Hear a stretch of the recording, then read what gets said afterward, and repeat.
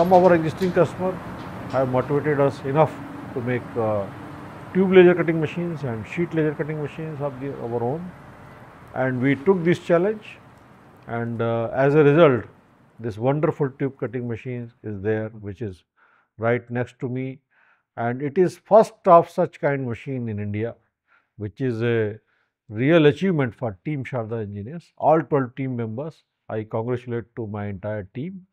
They worked overtime 12 hours in a day sometime on holidays Sundays to make this dream true every stage of manufacturing we struggled sometimes, sometimes fumbled, but we could meet out all those challenges with quality objectives, micron accuracies in fabrication, machining, we could achieve all that. As a result, first time ever such a machine has been made in India, which is a real milestone for Team Sharda engineers and we have a long way to go from here.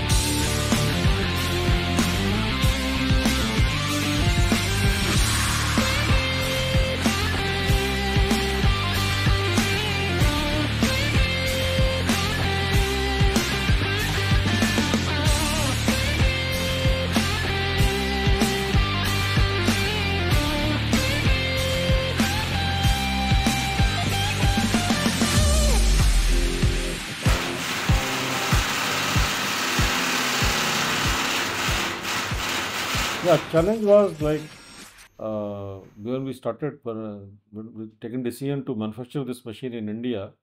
The biggest challenge was to get quality vendors and quality suppliers, for which we really struggled and it took time to reach quality vendors and quality suppliers. Still, we are not satisfied on some components because from our principle, we got only few components. Some components we imported, which were which are not being manufactured in India. But components which are being manufactured in India or which are available in local market, uh, we decided to purchase locally and get it manufactured locally as per Government of India decision made in India.